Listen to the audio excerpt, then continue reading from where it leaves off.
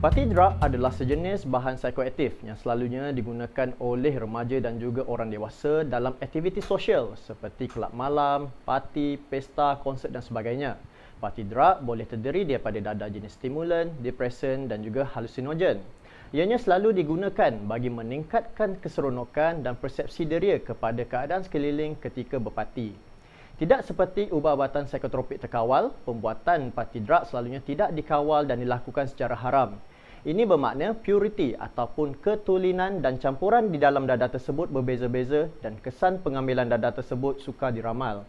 Sekiranya seseorang itu sudah mengambil satu pil dan tidak mencapai tahap keseronokan yang diingini, maka ia akan cenderung untuk mengambil lagi dalam masa yang singkat dan ini boleh menyebabkan overdose. Antara kesan overdose dadah adalah koma dan juga kematian. Contoh party drug yang sering digunakan adalah ecstasy Ecstasy merupakan dadah yang boleh memberikan kesan halusinasi dan juga stimulan. Bagi mereka yang memakai ecstasy, selalunya akan lebih berasa seronok serta bertenaga sepanjang malam.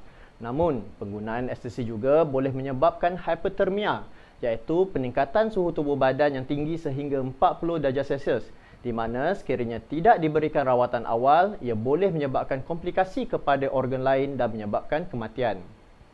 Bagi dadah jenis depression pula, drug party yang sering digunakan adalah Aramin 5 atau dikenali sebagai 5 ataupun Happy 5.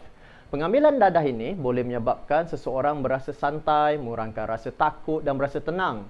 Namun, sekiranya ia diambil pada dos yang tinggi atau diambil bersama alkohol, ia boleh menyebabkan masalah pernafasan sehingga meningkatkan risiko untuk koma dan juga kematian. Seterusnya, untuk kumpulan halusinogen, drug party yang sering digunakan adalah ketamin atau lebih dikenali sebagai K. Pengguna ketamin akan merasakan seperti di awang-awangan seperti roh terpisah dari jasad.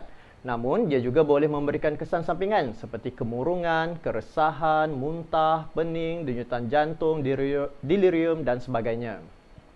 Dadah lain yang sering digunakan sebagai drug party adalah methamphetamine atau meth, juga dikenali sebagai ice. Dadah ini adalah dadah jenis stimulan dan mempunyai tahap ketagihan yang tinggi jika disalahguna. Kesan yang didapat oleh pengguna MET adalah euforia, hilang mengantuk dan bertenaga. Namun, dia boleh menyebabkan masalah kesihatan seperti sawan, serangan jantung, strok dan koma. Kebanyakan parti drug tidak mempunyai rasa dan tidak mempunyai warna. Kebanyakan yang memakai dadah jenis ini adalah pengguna dadah secara rekreasi Walau bagaimanapun, penggunaan kerap boleh menyebabkan seseorang itu menjadi penyalahguna sehingga ke tahap penagihan dan ini akan memberikan kesan panjang kepada pengguna tersebut terutama kepada kesihatan mental dan fizikal seperti kemurungan, kurang keyakinan diri dan juga psikosis seperti halusinasi dan juga paranoia.